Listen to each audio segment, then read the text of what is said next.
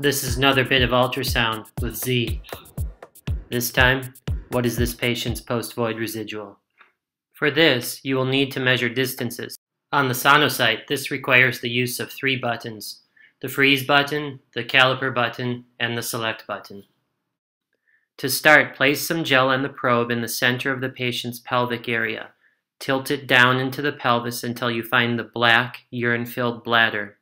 Rock it up and down until you find the largest dimensions. Push the freeze button.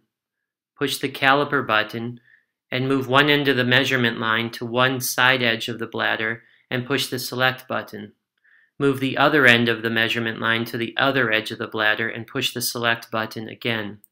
Now push the caliper button and repeat this for the anterior posterior front back dimension. You will have two distances noted in the lower corner of the display. Write these down. Now push the freeze button again to unfreeze the image.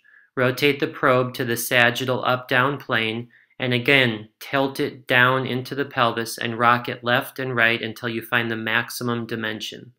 This time, freeze the image and use the caliper and select buttons to measure the maximum sagittal distance. Write this down. Now multiply these three numbers by one half and you will have a good estimation of the post-void residual.